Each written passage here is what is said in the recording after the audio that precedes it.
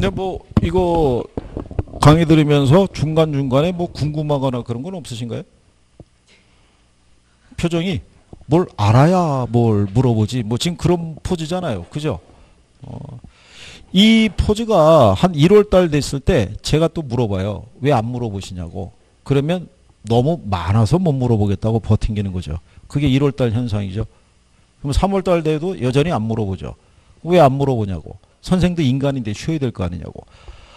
그거는 저희는 저희가 알아서 쉬니까 궁금한 거는 그때 그때 물어봐서 해소를 해야 돼요.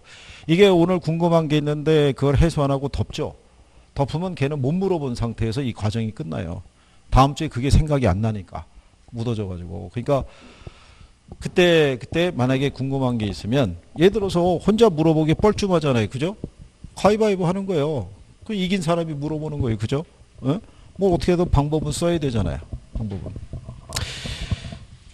이게 이제 분명히 누누이 말씀드리지만 용어가 빨리 이해가 되면 예, 그러면 이게 정리가 빨리 되는 거예요. 이게 그래서 1차에 좀 집중을 좀 해주시고요. 어, 그 다음에 이제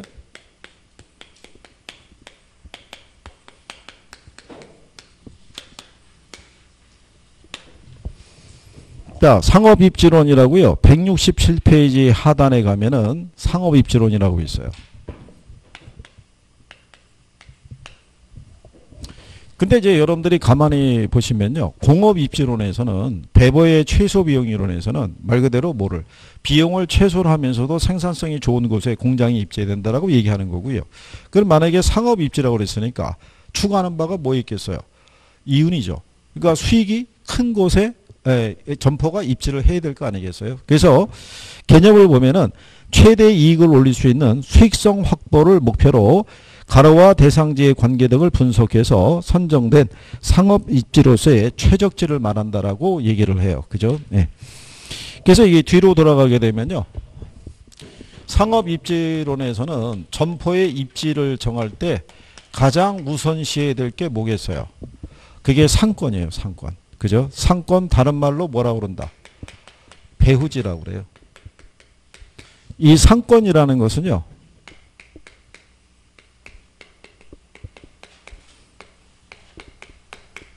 고객이 존재하는 공간이자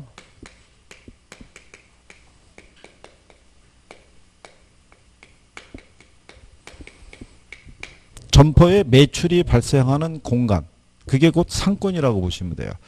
점포의 매출은 누구를 통해서 발생하겠어요? 네, 그렇죠. 고객에 의해서 매출이 발생하잖아요. 그죠? 네, 그래서 점포가 입지할 때는요. 이 상권의 규모를 우선 따져보는 거예요. 그죠? 여러분들이 그 백화점 아시죠? 예, 백화점이 들어서기 위해서는요. 고객 인구가 최소한 몇만 이상은 돼야 된다. 30만 이상은 돼야 돼요. 고객 인구가. 근데 30만이 됐다 그래서 백화점이 들어서냐면 그렇지는 않고요. 통상적으로 고객 인구가 한 50만 이상은 돼야 백화점이 들어선다라고 생각하시면 돼요. 그죠? 그러니까 어, 충청도권을 생각하면 대전 광역시니까 백화점이 있죠. 천안도 50만 이상이니까 백화점이 있죠. 그렇죠? 근데 아산이라든가 당진이라든가 서산이라든가 또는 세종시라든가 이런 데는 인구가 50만이 안 돼요. 그러니까 뭐가 없어요? 어, 백화점이 없는 거예요.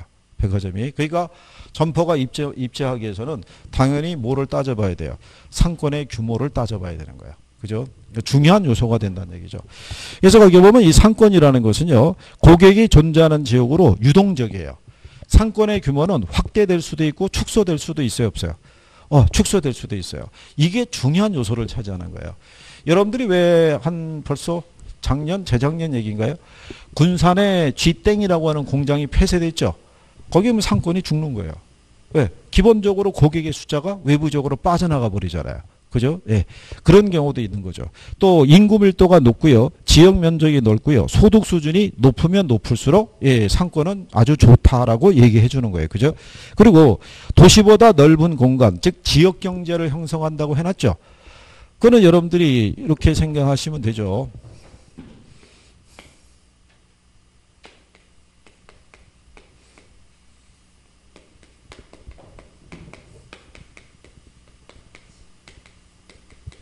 천안시에서 백화점 서비스를 제공하는 건요. 주변 요 배우지에도 이 서비스가 제다, 어, 전달이 되는 거죠. 그러니까 도시보다는 넓은 지역 경제를 형성한다고 보시면 돼요. 이 자체가. 그래서 얘가 중심지로서 얘가 중심지로부터 재화 서비스를 제공받는 배우지로서의 역할을 수행하는 거예요. 이게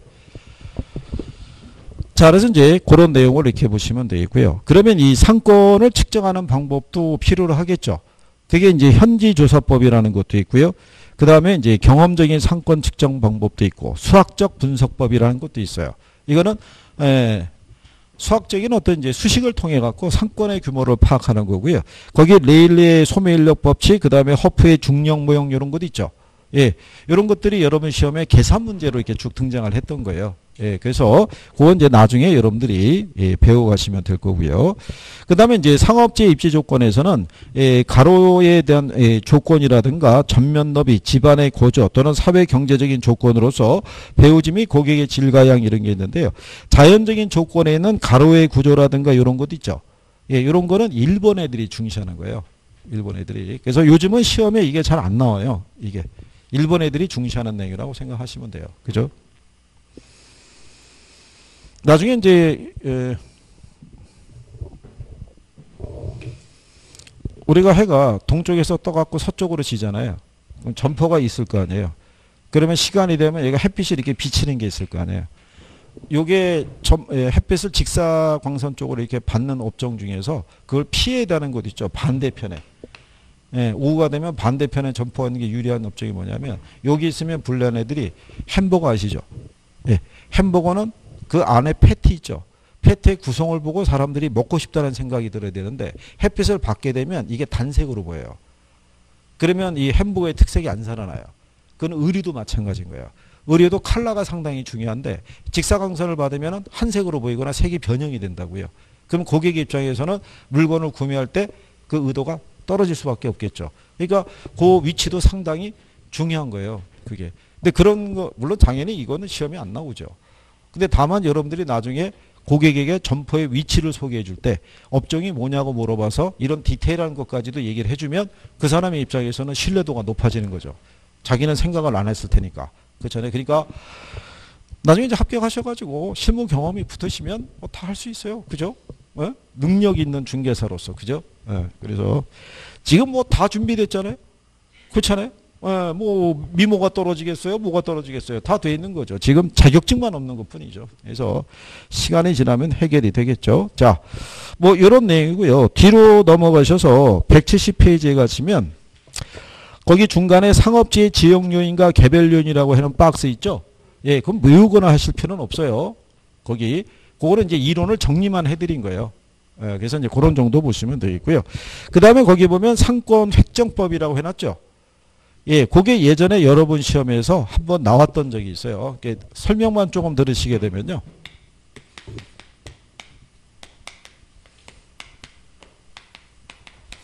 아, 제일 처음에 나오는 게 그 시장 침투법, 공간 독점법, 그 다음에 분산 시장 접근법이라고 해놨죠.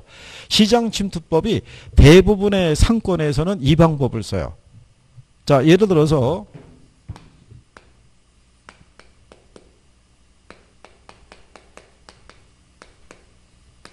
A라는 편의점이 있으면 얘가 생각하는 상권의 범위가 이렇게 있을 거 아니에요. 그죠? 근데 만약에 주변에 B라는 편의점이 이렇게 들어서게 되면 상권이 이런 식으로 겹칠 수 있어요, 없어요? 네, 겹칠 수 있는 거예요. 이렇게 상권의 중첩을 인정을 하고 상권의 경계를 측정하는 것을 우리가 시장 침투법이라고 그래요. 그죠? 기존의 점포가 있는데 새로운 점포가 침투하게 되면 기본적으로 상권이 중첩되는 것을 기준으로 해서 경계를 구분할 수 있어야 돼요. 그게 그 다음에 그 밑에 가면 공간 독점법이라고 있죠. 제목대로예요. 공간 독점이라는 건 뭐냐면 아, 예전에 우리나라의 그 주유소 아시죠? 예, 주유소에 거리 제한이 있었어요. 그래서 그 주유소가 있는 데로부터요. 반경 2km 지점에는 또 다른 주유소가 못 들어섰었다고요. 그러면 이 공간을 누가 독점하겠어요? A라는 주유소가 독점했던 거예요. 거기다가 예전에는 이 신용카드가 없었잖아요. 그러니까 대부분 현금으로 결제했었다고요. 그래서 예전에는 주유소가 참 재미가 좋았었어요. 근데 지금은 신용카드 결제에다가 그 다음에 길 건너도 주유소가 있고 거리 제한이 폐지가 된 거잖아요. 그러니까 주유소가 예전만 못한 거예요. 그래서 결국은 SK 주유소 아시죠?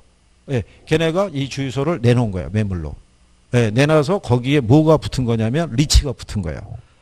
그 중에 일부는 매각을 해버리고 나머지 일부는 뭐를 해서 예, 리츠에서 부동산 투자 회사를 조직해서 거기에 투자 운영에서 발생한 수익을 누구에게 투자자에게 배당하는 구조로 해서 리츠가 공모가 결성이 되는 거죠.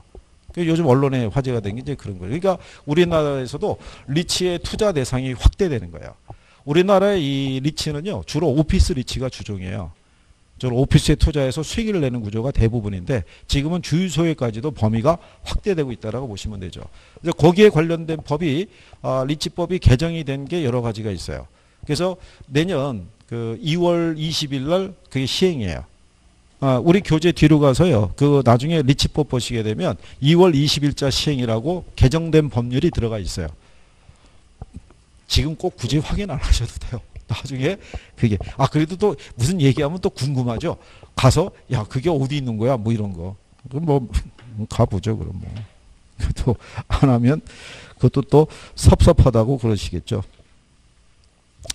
아 그냥 하나 예를 들어드리면요. 그 381페이지 가보세요. 381페이지 가면요. 거기 중간에 양가로 23번에 제30조 거래 제한이라고 있죠. 굵은 글씨로 돼 있죠. 거기 보면은 개정이 그 2016년 1월 19일, 2019년 8월 20일 해놓고 시행일이 2020년 2월 21일이라고 했잖아요. 그 내년 2월 20일 날 이게 시행이 된다는 거예요. 개정은 돼 있고, 그렇죠? 예. 그러니까 그 내년에 시행된 애들은 당연히 올해 시험에 반영을 안 했겠죠. 그죠? 예. 근데 이제 개정된 애들을 중심으로 해서 내년도 여러분 시험에는 반영이 될 수도 있다. 뭐 이런 얘기예요. 그래서 관련 법령이 개정이 되면은요. 예, 저희가 알아서 여러분들에게 정리해서 드려요. 예, 그러니까 그거 보고 예, 확인하시면 돼요.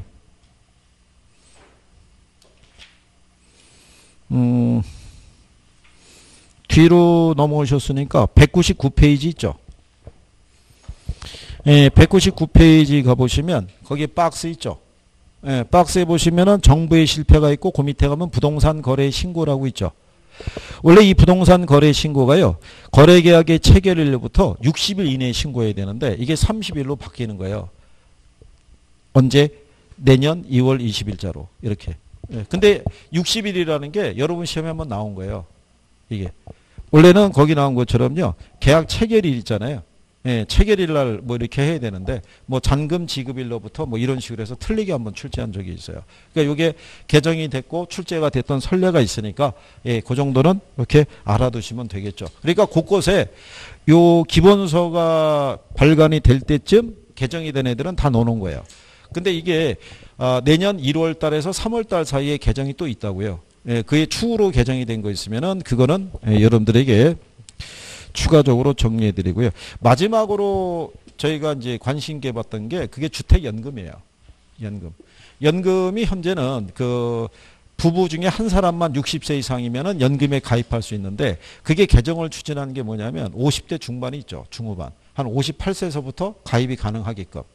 그리고 원래는 이게 시가 9억 원 어, 이하 주택만 가입을 할 수 있는데 그거를 저기 뭐예요? 공시 가격이 있죠. 예, 공시 가격 한 9억 정도로. 공시 가격 9억이면 실거래가가 한 12억에서 13억까지도 그 범위가 확대될 수 있어요. 그런 이제 중요한 요소가 바뀔 수 있는데 이번에도 개정을 추진한다고 얘기하는데 아시다시피 그 국회가 지금 안 돌아가잖아요. 예, 그러니까 좀 기다려 봐야 돼요. 대신에 그게 바뀌면 우리는 숙지하고 들어가야 돼요. 숙지하고. 자, 뭐 그런 내용이니까요. 예, 그다음에 그 분산시장 접근법이라고 있어요. 마지막에 본문 들어오셔서 170페이지 하단에 가면 자, 분산시장 이 접근법이라는 건요. 특정한 지역에 있는 고객만을 대상으로 하는 거예요. 자, 여러분들이 아시는 소위 하는 명품 아시죠? 명품. 명품을 구매할 수 있는 여력이 있는 소비 계층 있죠? 그게 주로 많이 모이는 데가 강남이라고요. 예, 그래서 그런 지역에만 존재할 수 있어요. 여러분들이 왜 논현동에 가면 가구거리라고 있죠? 거기 이태리제 대리석 수입 침대 있죠? 시가가 한 2억 정도 한다고요. 그러면 그거를 소비할 수 있는 계층 있는 수요는 한정돼 있잖아요. 그러니까 시장이 끊어져 있죠. 그러니까 분산돼 있다고 보시면 되죠. 연결은 안 돼 있고. 네, 그럴 때 취급하는 게 분산시장 접근법이다라고 이렇게 생각하시면 돼요. 무슨 말인지 아시겠죠? 음. 자, 그러면 요 상업 입지론의 그 밑에 가면은 양가로 5번에 크리스탈러의 중심지론이라고 있죠. 예, 그게 상업 입지론의 가장 대표적인 거예요.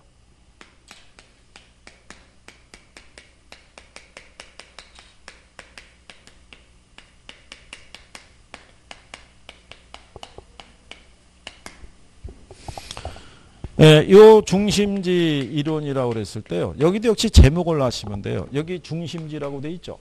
예, 중심지라는 거는 다른 말로 얘기하면 도시를 지칭하기도 해요.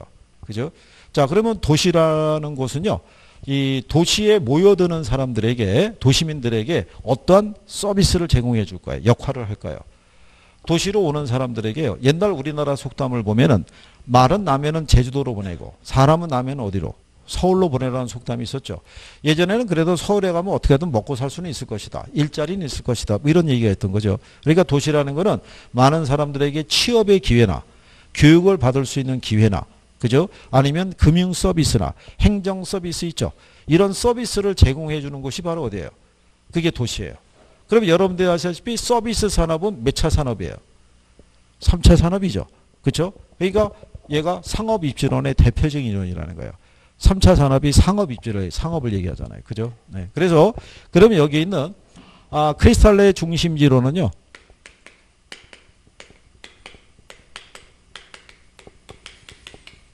재화의 도달거리와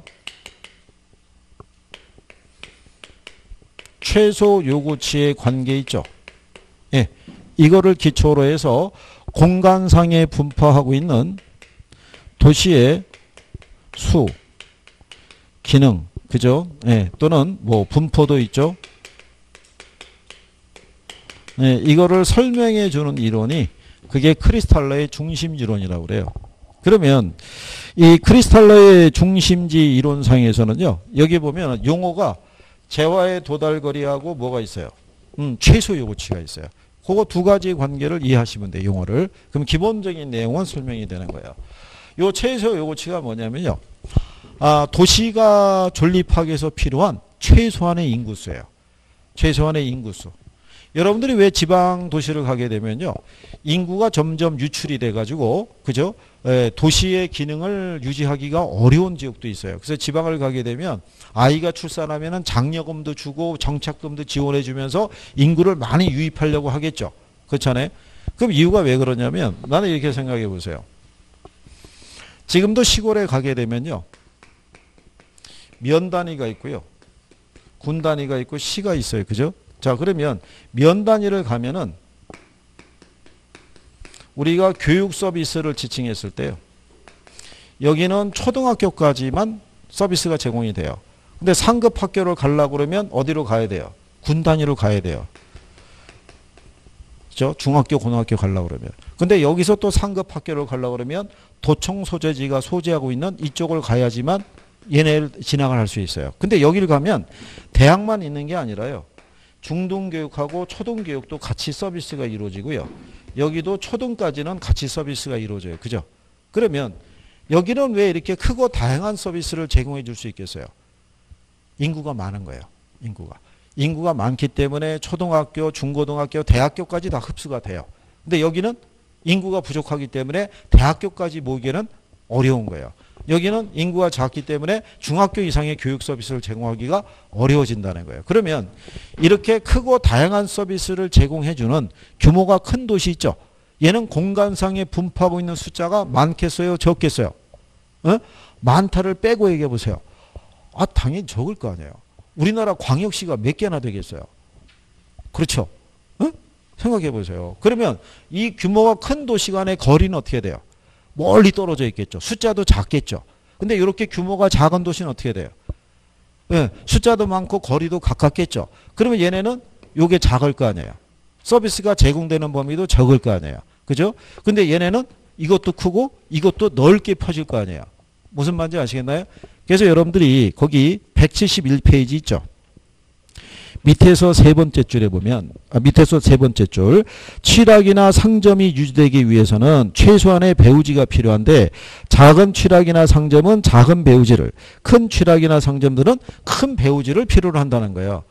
그래서 이 크리스탈라는 사람이 남부 독일을 이렇게 쭉 여행을 하다 보니까 규모가 큰 도시들은 공간상에 분포하는 숫자도 적고 멀리 떨어진 배열이 나타나고 규모가 작은 도시들은 공간상에 분포하는 숫자도 많이 나타나고 이렇게 붙어 있더란 얘기예요. 그래서 왜 이런 도시의 배열이 나타날까?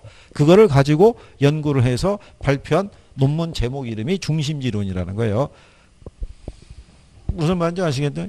음, 그러니까 생각해 보세요. 좀 아까 제가 저기 천안이라는 도시 이렇게 얘기했었죠.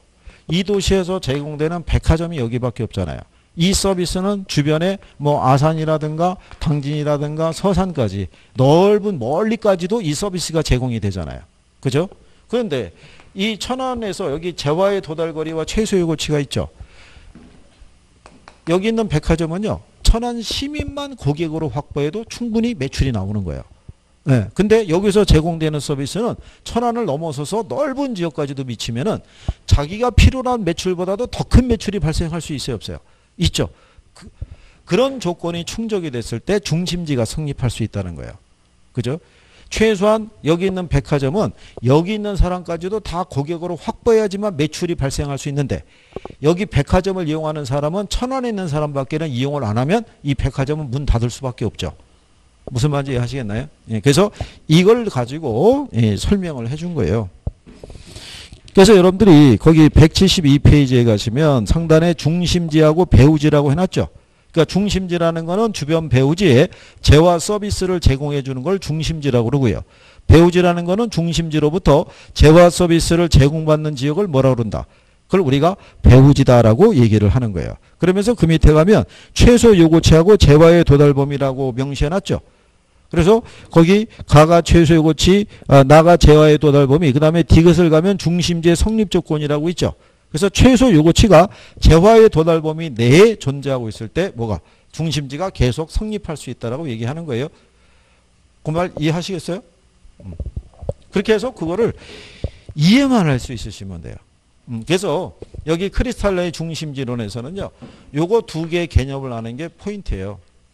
그러니까 중심지의 규모가 크면 클수록 이게 그만큼 커지고요. 이것도 넓게 되겠고 중심의 규모가 작으면 얘도 작고 얘도 적을 것이다라고 얘기하는 거예요. 예, 그것만 예, 이해해 주시면 돼요. 그죠? 그래서 여러분들이 어, 173페이지에 가시면요. 어, 하단에 동그라미 3, 4, 5번 있죠. 5번에 가시면 중심지로 이론의 내용이라고 있죠. 고차 중심지수로 거리가 멀고 저차 중심지수로 가깝고요. 고차 중심 지수로 규모가 더 커지고 저차 중심 지수로 가깝다라고 이렇게 예, 구성이 되어 있어요. 그리고 이제 그 밑에 보시면요. 저차 중심 지수로 이 작다라고 보면 되겠죠. 규모가. 그리고 저차원 중심지에서 고차원 중심지로 갈수록 중심지의 수는 피라미드형을 이룬다고 해놨죠. 예, 그거는 여러분들이 평상시 많이 접하신 거예요. 교육 서비스 쪽을 가보면요. 초등학교, 중고등학교, 대학교가 있으면 가르치는 교육 서비스의 질이 틀리죠. 올라갈수록. 그러니까 얘네가 분포되는 숫자가 적죠. 그 다음에 행정 서비스를 가게 되면요. 동사무소가 있고 구청이 있고 시청이 있잖아요. 행정 서비스의 질도 어떻게 돼요? 틀려지죠. 그렇잖아요. 그래서 이런 식으로 무슨 형태를 이룬다고? 피라미드 형태를 이룬다라고 생각하시면 되는 거예요. 그죠? 음. 요거만 네. 그래서 뒤로 넘어가시면은 174페이지에 예, 고개 상단에 박스로 구별이 되어 있는 거예요. 그죠? 그래서 고차 중심제 예를 백화점을 들었고요. 저차 중심제 예를 편의점을 들은 거예요. 그래서 가만히 연상해 보시면 아, 동네에 보게 되면 편의점의 숫자가 훨씬 많죠. 그죠? 예, 백화점의 숫자는 찾기 좀 어렵죠. 예, 그런 차이라고 생각하시면 돼요. 그런 거. 그리고 이제 그 밑에 가면 상권의 분석 기법이라고 이렇게 돼 있어요. 그죠? 음. 거기는 일단 또 별표는 하셔야 돼요. 상권 분석 기법에서. 여기도 간단한 개요만 일단 설명해 드리면요. 이 상권에 관한 이론을 보면요. 레일리의 소매 인력 법칙이라는 게 있고요. 컨버스의 분기점 모형이라는 게 있고요. 그 다음에 허프의 확률 모형이라고 있어요.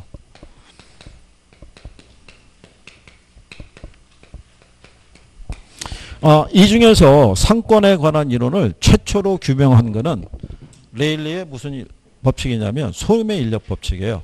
레일리의 소매 인력 법칙은요. 여러분들이 예전에 학창 시절에 배웠던 아이작 뉴턴의 만류인력의 법칙이라고 아시죠? 예, 그거를 이용한 거예요. 예, 뉴턴의 만류인력 법칙은요. 두 물체 간에 끌어당기는 힘이 있죠. 인력은 질량의 크기에 비례하고 거리의 제곱에 반비례한다는 논리를 바탕을 하고 있어요. 그죠? 그렇다고 해서 여러분 우리가 알고 있는 상식으로는 뉴턴이라는 사람이 사과나무 아래 앉아 있다가 사과가 툭 떨어지는 걸 가지고 그 법칙을 만들어냈다고 우리는 알고 있잖아요. 그죠? 그거 떨어진 날로부터 한 7년 동안 연구해서 발표한 게 그거란 얘기죠. 그러니까는 아무리 천재라고 그래도 그걸 가지고 발견한다는 건 쉽지는 않죠. 그래서 여기 레일리의 소매인력 법칙도요. 두 도시 간에 중간에 거주하고 있는 고객들을 끌어당기는 힘이 있죠. 유인력의 크기라는 것은요. 도시의 크기에 비례하고요. 거리의 제곱에 뭐 한다고요? 반비례한다고. 이거를 여러분 작년 시험이 올해 말고 작년 시험은 이걸 뒤집어 준 거야. 어, 문제가 얼마나 쉬웠겠어요. 그것도 1번 지문에. 레일리의 소매 인력 법칙에 따르면 두 도시 사이에 존재하는 고객을 끌어당기는 힘은 도시의 크기, 인구의 크기에 반비례하고 거리의 제곱에 비례한다 이렇게 틀리게 준 거예요. 그러니까 맞추라고 준 거 아니에요. 그죠? 근데 올해는 그렇게 안 줬다는 거죠. 그를. 일단 요거는 기억을 해야 돼요. 도시의 크기에 비례하고 어디에? 거리의 제곱에 반비례한다는 거. 레일리의 소매인력 법칙이고요. 아, 컨버스의 분기점 모형은요. 레일리의 소매인력 법칙을 수정한 것이 예, 컨버스의 분기점 모형이라고 보시면 되고요. 아, 그 다음에 레일리의 소멸력 법칙하고요. 컨버스의 분기점 모형은 몇 개의 도시만 가정한다. 두 개의 도시만 가정해요. 두 개의 도시만. 근데 이거는 왜 그럴 수밖에 없냐면요. 음, 뭐 이런 논리로 생각해 보세요.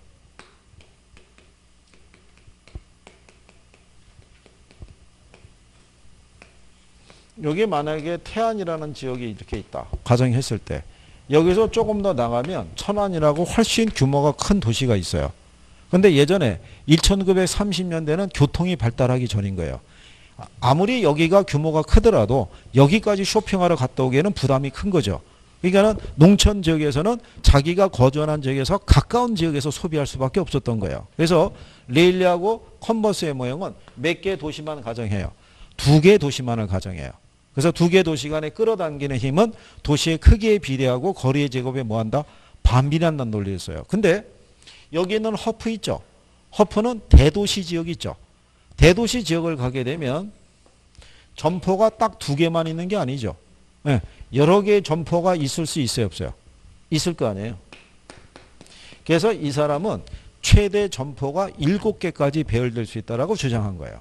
그죠? 그러면 여기 있는 허프 모형에서는 고객이 특정한 점포를 이용할 확률이 있죠.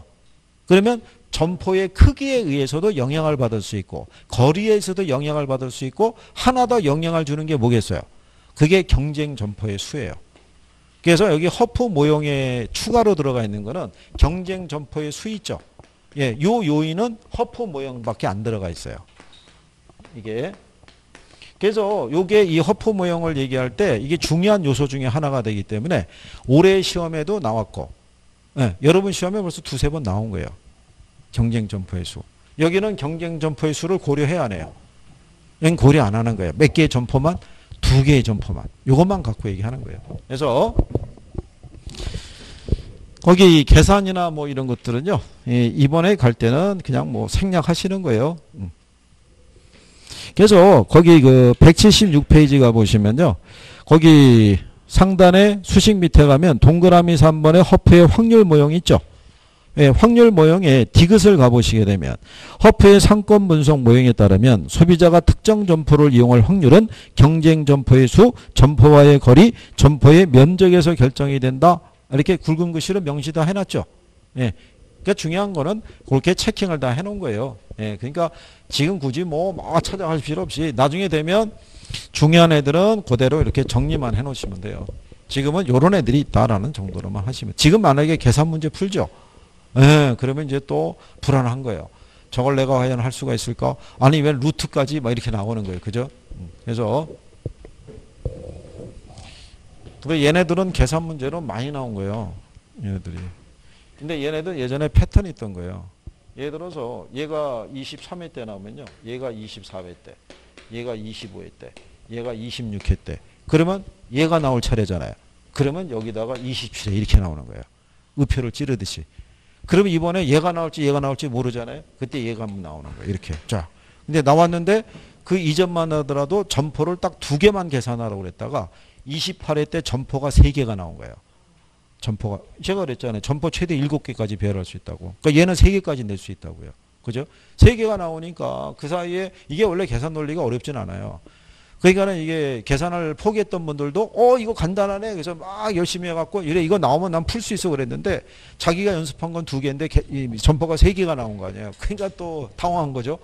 선생님 세 개 나왔어요. 그럼 그렇다고 해서 선생이 세 개까지 문제를 안 줬겠냐고요. 세 개까지 풀어보라고 예시로 다 준 거죠. 그런데 본인이 알고 있는 건 철석같이 뭐밖에 없는 거예요. 두 개. 두 개만 알고 들어가는 거예요. 그러다가 세 개 나오면 쓰러지는 거죠. 안고. 그죠? 그래서 항의가 빗발쳤어요. 그때. 그때 시장 점유율만 물어본 게 아니라 매출액도 구하라고 해준 거예요.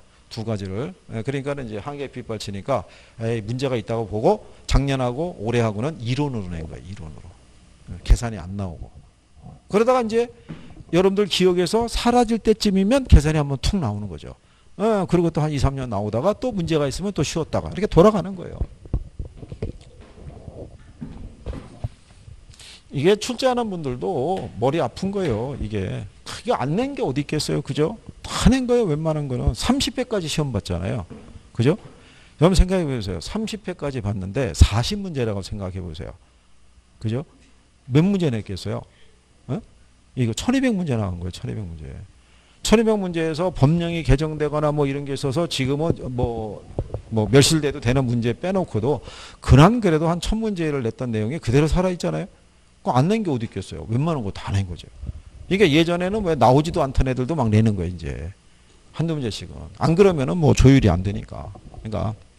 자, 그 다음에 그 177페이지 가면 거기 동그라미 4번에 소비자 분포 기법이라고 해놨죠. 예? 예.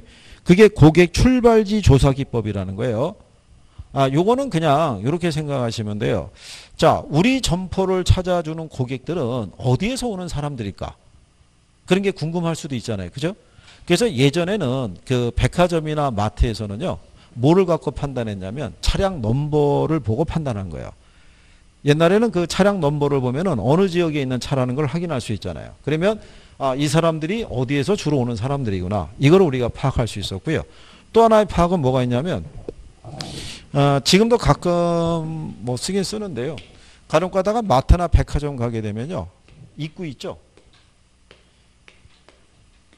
입구에 이런 매대 위에 승용차대가 돌아가요. 이렇게 이 경품이에요. 어, 경품. 경품이 제공이 되는데 예, 이 경품에 제공하기 위해서 응모권이 있죠. 응모권이 있는데 이게 그날 하루 매출 하루에 5만 원 이상 구입한 사람만 이 응모권을 주는 거예요. 그것도 이제 10만 5만 원 이상이면 몇 장 더 주고 뭐 이렇게 주는 거잖아요. 그 여기 항목 있죠. 여기다가 이름 써야 되고 그 다음에 주소 써야 되고 전화번호 써야 돼요. 그죠? 그러면 우리는 여기다가 꼼꼼하게 기록해요. 아주 흘려 쓰는 경우 있어요, 없어요? 그 경우는 없어요. 혹시 내가 1등이 됐는데 내가 주소를 흘려서 갖고 나한테 연락이 안 올까봐 아주 정자로 또박또박 써요. 근데 주변에 이거 응모해 갖고 당첨됐다는 사람은 들어본 적이 없어요. 근데도 우리는 그냥 집어넣는 거예요. 그죠? 이게 백화점이나 마트에서는 이게 데이터가 되는 거예요. 이렇게 되지도 않을 확률에 5만 원 정도는 아무렇지 않게 지출할 수 있는 고객들은 주로 어느 지역에 많이 분포하고 있냐 이런 얘기예요. 그 사람들이 제일 많이 분포하고 있는 게 1차 상권이라는 거예요. 우리 백화점의 전체 매출의 60, 70%를 차지하는 사람이다. 뭐 이런 얘기예요. 그래서 요즘 왜 드라마에서도 VIP인가 뭐 이런 드라마 뭐 이런 게 있다고 그러죠. 음, 그게 이제 이런 사람들을 대상으로 하는 뭐 그거죠. 그게 맞는 내용이에요. 원래 백화점 이쪽에서는 저런 고객들이 전체 매출의 60, 70%를 차지하기 때문에 저 사람만을 위한 쇼핑 시간을 따로 해줘요. 따로. 그러니까 나중에 백화점 영업이 다 끝나고 난 다음 있죠. 이제 다 이제 하고 그러고 난 다음에 이 사람들이 쭉 들어가 가지고 그 사람들만이 쉴 수 있는 공간에서 이 사람들이 원하는 제품을 앞에다 쫙 진열을 해주고 예 그리고 선택을 하게끔 그렇게 해주는 경우죠. 이게 백화점도 그 하루 매출 있죠. 매출. 매출이 어 예전에 드라마 보게 되면요. 그 재벌 3세인데 어 여친이 생긴 거예요. 그 여친에게 재력을 과시하고 싶을 거 아니에요. 그래서 자기 할아버지 소유의 백화점이 있는데 백화점 하루 영업을 쉬게 한 거예요. 쉬게 하고 자기 여친하고만 둘이 들어가서 쇼핑을 쫙 한 거예요. 이렇게. 그래서 그때 어느 시간 많은 기자가 조사한 거예요. 백화점을 하루 쉬면 매출의 손실이 얼마나 발생할까? 그게 저기 목동에 있는 H백화점 기준했을 때 그때 당시가 하루에 6, 7억이라고 그랬어요. 하루 매출이. 하루 매출이 6, 7억이 나오기 위해서는 고객인과 한 50만 이상은 돼야 된다는 거예요. 그게. 그리고 그런 식으로 백화점 영업이 끝내거나 어, 끊는 상 끝낸 상태에서 들어가서 쇼핑을 할 수 있는 사람들이 VIP라는 거죠. VVIP. 그래서 그때 그게 소개가 됐던 적이 있어요. 한번. 그러니까 여러분들 가끔 가실 거 아니에요. 영업이 끝나고 난 다음에. 아닌가요? 네?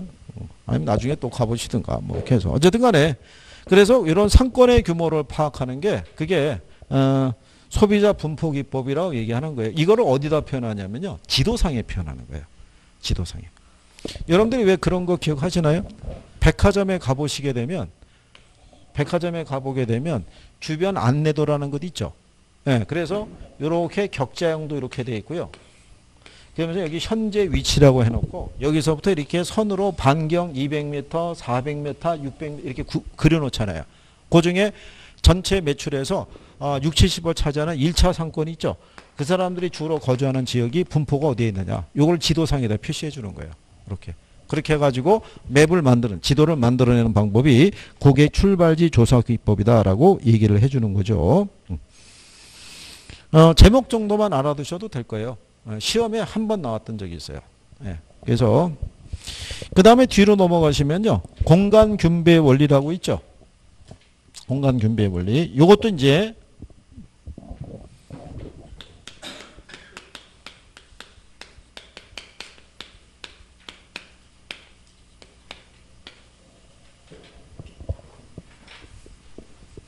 자, 공간 균배 원리라는 것은요.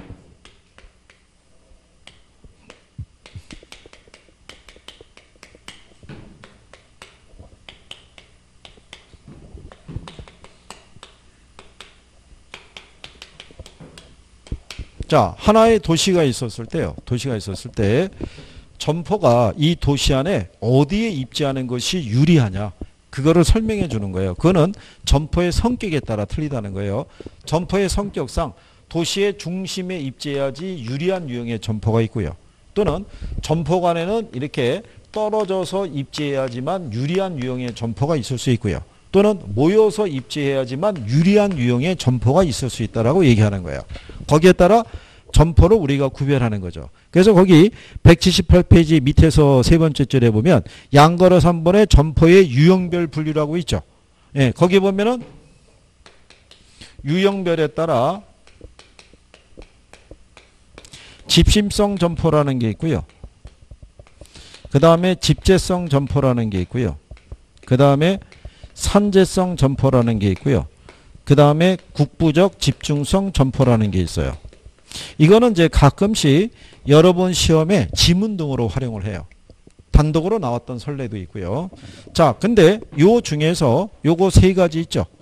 집재성, 산재성, 국부적 집중성 점포는 요건 동정 점포예요.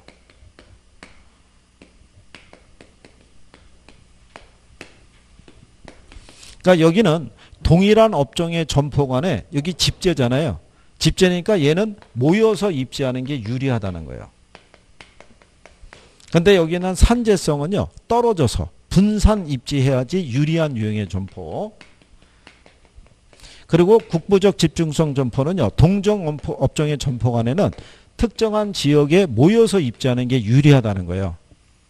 여러분들 간단하게 국보적 집중성 점포 있죠? 제가 만약에 서울 강남에다가 농기구점을 이번에 하나 오픈했어요. 그럼 팔리겠어요? 안 팔리겠어요?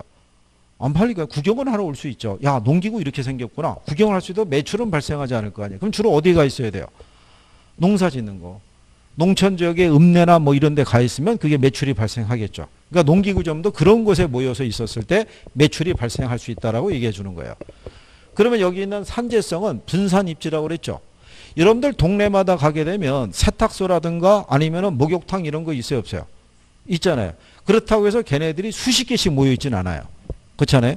동네마다 한두 개씩만 위치하고 있는 거예요. 그죠? 사람들이 그 서비스를 한번 이용하면은 일정한 텀을 두고 이용을 한다고요.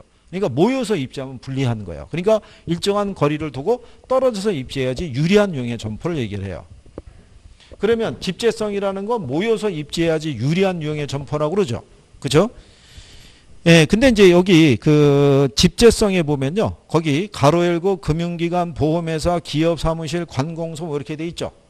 그 중에서도 특히 금융기관과 기업의 사무실과 관공서 있죠. 얘네들은 생산자 서비스를 제공해 주는 애들이에요. 그러니까 얘네들은 모여서 입지하는 게 유리한 거예요. 우리가 이 서울 그 시청을 보시면요. 시청을 중심으로 태평로 쪽인가 이쪽을 보게 되면 여기 기업의 본사들이 있고요. 을지로 입구 쪽에는 은행의 본점들이 있었다고요. 그러면 기업에서는 사업을 하려고 그러면 관공서로부터 인허가를 빨리빨리 받아야겠죠. 또 사업하려고 그러면 자금의 조달과 운영이 용이해야 될 거 아니에요. 그러니까 얘네들이 모여서 입지하는 게 유리하다는 거예요. 그게 그리고 일반 점포 가운데서는 비교 구매를 해야 되는 상품들이 있죠. 가구점이라든가 또는 가전제품이나 뭐 의류점이나 이런 애들은 모여 있음으로써 고객을 유치하기가 더 편리하다고 얘기하는 거예요. 그러니까 제목이 설명하겠죠. 어? 집재, 산재, 국부적 집중성. 그러면 여기 있는 집심성이라고 있죠. 요거는 그 도시의 중심에 입지해야지만 유리한 유형의 점포를 얘기를 해요. 그래서 대표적으로 얘기하는 게 아, 백화점 이런 거 얘기해요. 근데 그 1980년대 있죠. 80년대 우리나라 이제 1인당 국민 소득이 한 1000불에서 1100불 수준이에요. 이게 소득이 이렇게 높은 편이 아니었다고요. 그죠? 예. 네. 그때 어, 서울을 기준하게 되면요. 그 당시에 서울에 있는 백화점이 있죠. 백화점은 다 명동에만 있었어요. 지금은 없어진 뭐 코스모스라든가 뭐 거기 있는 뭐 대농이라 이런 모든 그 백화점들이 다 여기 있었던 거예요. 그 왜 여기 모여 있을 수밖에 없냐면 그때는 소득이 높지 않았기 때문에요. 백화점 정도를 방문해서 거기 있는 물건을 구매할 수 있는 이 구매력을 갖고 있는 사람들이 소수에 지나지 않았던 거예요. 그러면 동네마다 소수에 있는 사람들을 보고 지점을 낼 수는 없었던 거예요. 그러니까 서울 곳곳에 있는 모든 교통 노선은 여기를 관통하도록 돼 있어요. 그러니까 여기 센터에 있으면서 고객을 끌어모은 거예요. 그래야지만 일정한 매출을 달성할 수밖에 없는 거예요. 그래서 백화점이라는 게 어디에? 도시의 중심에 입지해야지 유리한 유형의 점포다 이런 얘기예요. 이해하시겠어요? 어, 그러니까 제목을 가지고 그런 식으로 구별하시면 되는 거예요. 그 다음에 어, 179페이지 거기 중간에 가면 상품의 종류별 입지 유형이라고 돼 있죠.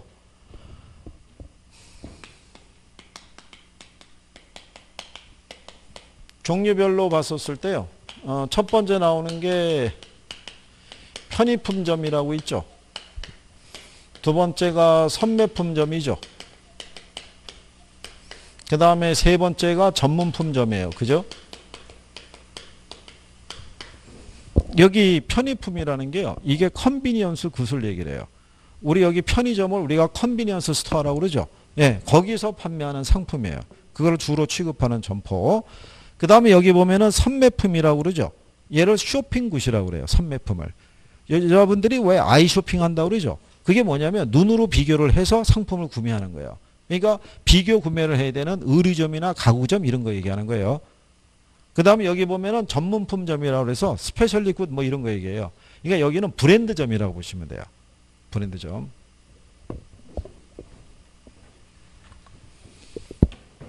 이게 결국은 이게 번역에 따라 틀려진 거예요. 번역에. 근데 요즘은 번역이 그래도 조금 세련된 거예요. 예전에는 요 전문 품점이 있죠. 예, 이거를 이렇게 번역했었어요. 유표품점이라고 한문 넣어갖고. 그러니까 유명 상표 상품을 취급하는 점포를 줄여서 유표품 이렇게 해놓은 거예요. 그러니까 우리가 알 수가 없죠. 풀어주지 않으면 그렇지 않겠어요? 그래서 옛날에 그 번역된 거 보면은 여기 편의품 있죠. 편의품의 위치는 우리가 접근할 때 도보로 10분에서 15분 사이의 거리에 위치해야지 유리하다고 해놨어요. 근데 우리는 요즘 10분, 15분 못 걸어요. 5분만 걷다가 보면 가다가 쓰러지게 되는 거예요. 요즘 차 타고 움직이기 때문에. 그 옛날에 번역한 거예요. 그러니까 요즘은 그냥 성격 정도만 알아두시면 돼요. 그죠? 성격 정도만. 네. 그 다음에 그 밑에 가면 양가라 5번에 보면요. 어, 넬슨의 소매 입지론이라고 있죠. 이게 올해 시험에 또 등장한 거예요. 오래간만에. 알아만 두셔도 돼요. 자, 넬슨의 소매 입지로는요. 점포의 경영 주체가 특정 점포가 최대 이익을 얻을 수 있는 매출액을 확보하기 위해서는 어떤 장소에 입지해야 되는지를 우리가 제시한 거라고 얘기를 해요. 그래서 이 사람이 총 제시한 게 뒤로 넘어가면은 8개 항목이 제시가 돼 있어요. 그죠? 이게 근데 이 안에 이게 저기 무슨 법이라고 되겠냐면요. 이게 체크리스트 법이라고 얘기해요. 점포가 입지하기 위해서는 최대 매출을 올리기 위해서 고려해야 될 요소들이 있겠죠. 그것에 대한 이 항목이 있는 거예요. 그러니까 여기는 큰 제목으로 8개로 제시가 돼 있죠. 그 안에 가면은 소비율 세분화하게 되면 항목의 수가 훨씬 많은 거예요. 그죠? 네. 그래서 이게 점포가 입점을 할 때는요. 그런 게 있는 거예요. 스스로의 힘으로 판매할 수 있는 상점이 있고요. 그죠? 공유적인 판매 있죠. 주변 상점에 어떤 이제 도움이 있었을 때 같이 판매가 이루어지는 점포도 있고요. 성격이 다 틀려요. 그래서 다양한 것들이 제시가 되어 있는데 이 사람이 이 중에서 가장 중시한 거는요. 동그라미 6번에 가면은 양립성이라고 해놨죠. 예, 그거를 제일 강조했어요. 이게 제일 중요하다고. 근데 이게 양립성의 의미라는 게요. 그 어떤 그 교재에 가게 되면 뭐 보안제적인 상품을 취급하는 점포 간에 모여 있어야 된다 뭐 이런 식이라는데 여기서 얘기하는 양립성은 뭐냐면 고객이 물건을 구매하기 위해서 이게 이동할 거 아니에요. 그 이동에 제약을 받지 않는 공간에 점포가 입지된다는 거예요. 그러니까 예를 들어서 명동 상권이 있고요. 어, 강남에 압구정 상권이 있잖아요. 어느 게 상권의 규모나 이런 것들이 훨씬 좋냐면 명동이 훨씬 좋은 거예요. 명동이. 명동은 이게 블록화되어 있는 거예요. 그러니까 주말에 유동인구가 이 안에 들어가죠. 이 안에서 자동차 교통에 방해를 받지 않고 자유롭게 돌아다니면서 쇼핑할 수 있는 거예요. 그러니까 돌다 보면 이 안에 있는 점포들은 다 부딪힐 수 있어요. 가로 구조가. 근데 여기는 이렇게 넘나들어야 된다고요. 길을 따라서. 고객은요, 이 차선이 너무 길면은 반대편 상권하고는 분리된다고 생각하시면 돼요. 그러니까 한 뭐 왕복 4차선 이상의 도로가 있으면 여기하고 여기는 별개인 거예요. 길 하나 건너가는 거 좋아요, 싫어요? 아, 싫어하는 거예요. 우리는 이 걷는 거 되게 싫어요. 어? 이따가 오전 수업 마치고 가장 친하다고 생각하는 사람에게 전화하는 거예요. 야, 잠깐 나와봐. 나온 다음에, 어, 잠깐 따라와봐. 그러고 가보세요. 아무 말도 없이 따라오라면 가면은 그나마 성격 좋은 사람이 한 70m 정도까지 따라올까? 대부분 한 30m 걸으면 서요. 어디 가는데. 그죠? 가늠을 해봐야 되니까. 그러니까 오래 움직이는 거 좋아한다, 싫어한다. 싫어한다는 거예요. 그래서 뭐 그런 내용이에요. 그래서 이 사람은 자유롭게 통행을 하면서 물건을 구매하기가 용이한 쪽 있죠. 예, 거기에 점포가 입지해야 된다라고 얘기를 해준 거예요. 그래서 뭐를 제일 강조했다? 양립성을 제일 강, 그러니까 이게 번역이 정확하면 관계가 없는데 그렇지 않으면 해석의 차이가 있을 수밖에 없어요. 그러니까 그런 것들은 그래서 어쨌든 예, 이런 내용까지 예, 여러분들이 정리를 해보신 거예요. 자, 그래서 여기에 대한 것까지 어, 시장론에 대한 거를 우리가 마무리해 본 거예요. 그 다음에 이제 페이지 넘겨가지고 191페이지에 가시면 어, 부동산 정책론이라고 있어요. 그죠? 정책론.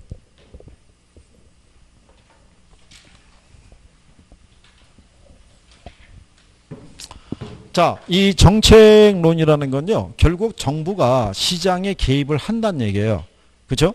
그럼 정부가 시장에 왜 개입을 해야 되냐면 시장을 통해서는 문제 해결이 안 되는 거예요. 그죠? 그거를 해결하기 위해서 누가? 정부가.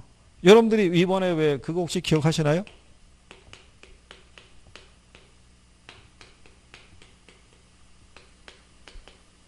세 살짜리인데 주택 두 채를 보유하고 있어서 화제가 됐던 애가 있잖아요. 그죠? 그렇지 않겠어요? 근데 같을 때 태어났던 세 살짜리 애가 있는데 얘는 깔끔하게 태어났고 얘는 부자 할아버지가 있어서 집 두 채를 선물 받으면서 태어날 수도 있잖아요. 그죠? 그러면 얘들이 성장해서 나중에 사회에 진출할 때 공정한 경쟁이 될 수가 없을 거 아니에요. 근데 이거를 이 두 집안 간에 해결할 수는 없잖아요. 그죠? 그러니까 누가 개입하겠어요?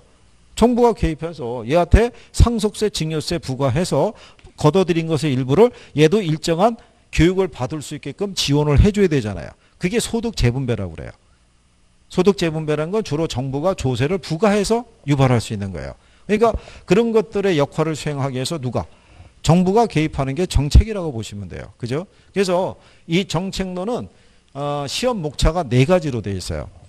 그래서 거기 일절이 정책의 의미 기능이라고 해놨죠. 예, 제목 그거 하나 하고요. 그 다음에 이제 뒤로 넘어가셔가지고 그게 가야 되죠. 208페이지에 가면 토지 정책 있죠. 예. 그 다음에 이제 페이지를 넘겨서 더 가보시면 221페이지의 주택 정책. 그 다음에 235페이지에 조세 정책이라고 그래서 4절로 돼 있죠. 예. 여러분들의 시험 목차가 이렇게 네 가지예요. 그러니까 기본적으로 몇 문제는 내겠다는 거예요. 네 문제. 근데 올해 시험은 일곱 문제까지 나왔어요. 정책이라는 이 제목을 달고. 예. 그러니까 그만큼 플러스 알파가 가능한 단원이에요. 그러니까 여기 안에 관련된 법령이 존재하는 거예요. 법령이. 예. 그래서 그 법령에 대한 거를 사전에 조금 이렇게 정리가 돼 있으신 분들은 조금 더 쉽게 접근할 수 있고요. 법령에 대한 부분을 전혀 인식하지 못하면은 내용이 어렵다고만 생각한다고요. 그죠? 음, 그거만 잘해 주시면 돼요. 그래서 다음 주에 우리가 이 정책에 대해서 아마 다음 주에는 정책을 마무리하고요. 투자론의 초입 정도까지 가볼 수 있을 거예요. 네, 그래서 네. 이 투자론도요. 뭐를 정확하게 하면요. 용어만 정확하게 알면 계산을 안 해도 좋아요. 에? 예? 이론적인 용어만 해도 충분히 점수 딸 수 있어요. 그죠? 그리고 뒤에를 보면서 부정적인 생각보다는 긍정적인 생각을 많이 해야 돼요. 그죠?